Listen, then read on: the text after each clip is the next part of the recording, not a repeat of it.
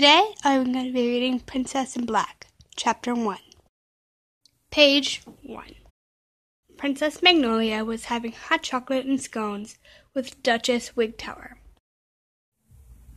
The hot chocolate was hot, the scones were sweet, the breeze from the window was warm and wishy. How lovely, lovely of you to visit, said Princess Magnolia. And unexpected. Many people in their own homes, said Duchess Wigtower. I always uncover secrets. Secrets? said Princess Magnolia. Yes, secrets, said Duchess Wigtower. Hidden messes, skeletons in closets, that sort of thing. Closets? said Princess Magnolia. The hot chocolate burned her lip. The breeze knocked her cool curls into her face. She was no longer enjoying herself. You seem so prim and perfect, Duchess Wigtower leaned forward. But everyone has a secret. Princess Magnolia brushed crumbs off her frilly pink dress. She hoped she didn't look nervous, because she did, indeed, have a secret.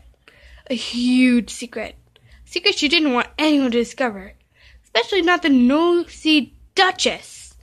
Princess Magnolia's grit- glitter, glitter stone ring rang.